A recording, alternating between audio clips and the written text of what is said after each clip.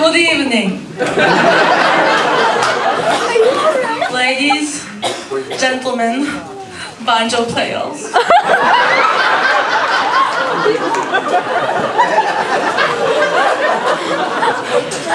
Tonight, before I go on, I should tell you, I have a little problem with my accent. Sometimes it changes. It is an affliction from my father's side.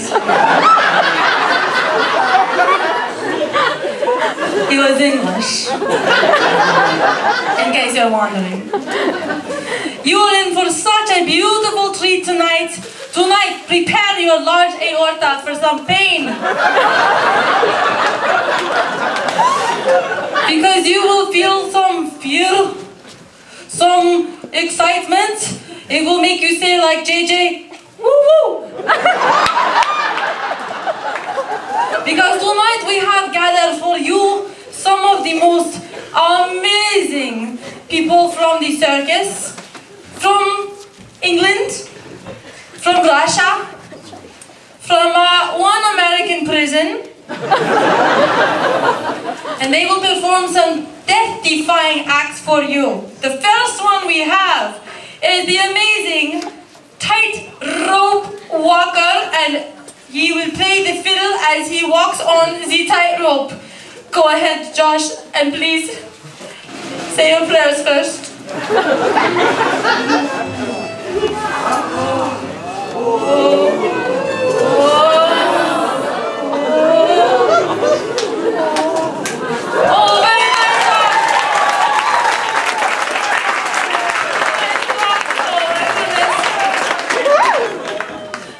I saw him do that in Bulgaria, I wet my pants a little bit.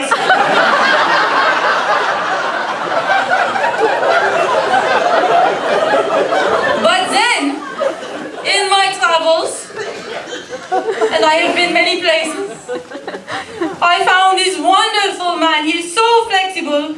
Uh, I found him with his arm stuck under his leg. And uh, I thought he was perfect. He played the fiddle. And most of the time he does not get stuck. When he does, we give your money back.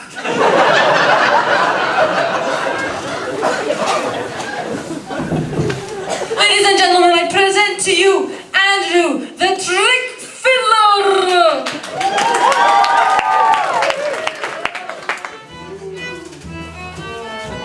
Don't get stuck. Don't get stuck. Don't get stuck.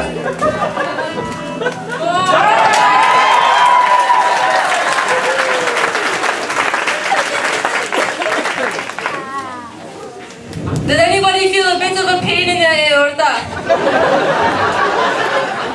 What did you have for supper? But what I have seen around the world does not come close to what I saw in my travels in Hawaii. I saw these two beautiful young women playing the fiddle and hula hooping. Hula hoop, hula, hula. It is not a silent H in Canada. Where I come from, it is hula hooping.